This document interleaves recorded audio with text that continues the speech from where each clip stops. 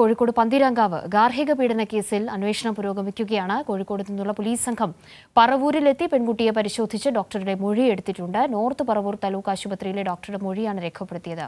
പെൺകുട്ടിയുടെ മൊഴി നേരത്തെ രേഖപ്പെടുത്തിയിരുന്നു. കേസിൽ രാഹുലിന്റെ അമ്മ സഹോദരി എന്നിവരുടെ മുൻകൂർ ജാമ്യാപേക്ഷ പരിഗണിക്കുന്നത് കോടതി ഈ മാസം ഇരുപത്തിയേഴിലേക്ക് മാറ്റിയിട്ടുണ്ട്. ഇരുവരെയും ചോദ്യം ചെയ്യുന്നതിനായി പോലീസ് വീണ്ടും നോട്ടീസ് നൽകും. ലതീഷ് ഈ വാർത്തയുടെ കൂടുതൽ വിവരങ്ങളുമായി ഒരിക്കൽ കൂടി ചേരുന്നുണ്ട്. ലതീഷ് ഈ ഗാർഹിക പീഡന കേസ് പുറത്തു വന്നതിന് ശേഷം ഇതിന്റെ അന്വേഷണം വളരെ ഊർജിതമായി പ്രത്യേകിച്ച് പ്രതിയിലേക്ക് എത്തുക എന്നുള്ളതാണ് ഏറ്റവും പ്രധാനപ്പെട്ട കാര്യം. രാജ്യം വിട്ടു എന്ന കാര്യത്തിൽ ഒരു ഉറപ്പുണ്ട്. ബ്ലൂ കോർണർ നോട്ടീസ് അടക്കമുള്ള കാര്യത്തിലേക്ക് നിയമപരമായ നടപടിക്രമങ്ങളിലേക്കൊക്കെയും കടന്നൊരു സന്ദർഭമാണ്. ഇപ്പോൾ പോലീസുമായി ബന്ധപ്പെട്ട് ലഭിക്കുന്ന വിശദാംശങ്ങൾ എന്തൊക്കെ?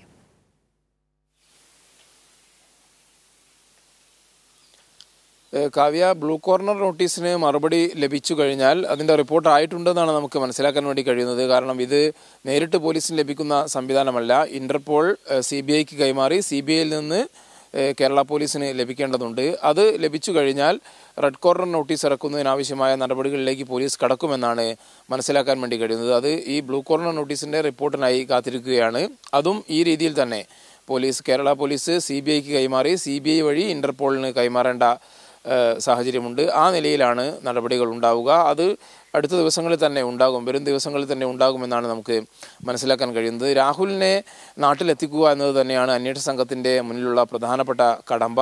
അതിന് ബ്ലൂ കോർണർ നോട്ടീസിന്റെ മറുപടി ലഭിച്ചാൽ തുടർന്ന് നടപടി എന്നുള്ള നിലയിൽ റെഡ് കോർണർ നോട്ടീസിന് ആവശ്യമായ നടപടികളിലേക്ക് പോലീസ് കടക്കും. ഇതിനുള്ള നടപടിക്രമങ്ങൾ പോലീസിന്റെ ഭാഗത്തുനിന്നും അന്വേഷണ സംഘത്തിന്റെ ഭാഗത്തുനിന്നും ആരംഭിച്ചിട്ടുണ്ട്.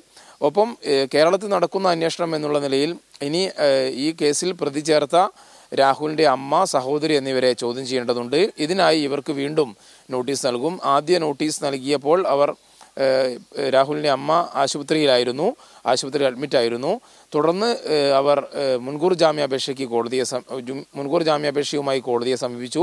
ഇന്നലെ കോഴിക്കോട് ജില്ലാ സെഷൻസ് കോടതി ഈ മുൻകൂർ ജാമ്യ ഹർജിയിൽ വിധി പറയുന്നത് അല്ലെങ്കിൽ പരിഗണിക്കുന്നത് തന്നെ അടുത്ത തിങ്കളാഴ്ചയിലേക്ക് ഇരുപത്തിയേഴിലേക്ക് മാറ്റിയ സാഹചര്യമുണ്ട്. പോലീസിന്റെ റിപ്പോർട്ട് കോടതി ആവശ്യപ്പെട്ടിട്ടുണ്ട്.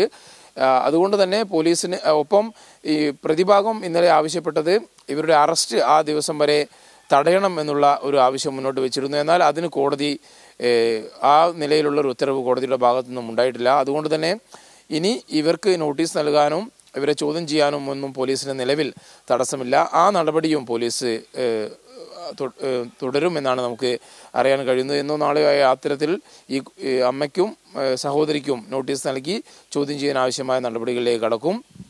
ഒപ്പം ഈ കേസുമായി ബന്ധപ്പെട്ട് ഈ പ്രതിയെ സഹായിച്ച രാഹുലിനെ സഹായിച്ച പോലീസ് ഉദ്യോഗസ്ഥൻ എതിരെ വകുപ്പുതല അന്വേഷണവും നടക്കുന്നുണ്ട്. അദ്ദേഹത്തെ സസ്പെൻഡ് ചെയ്തിരുന്നു.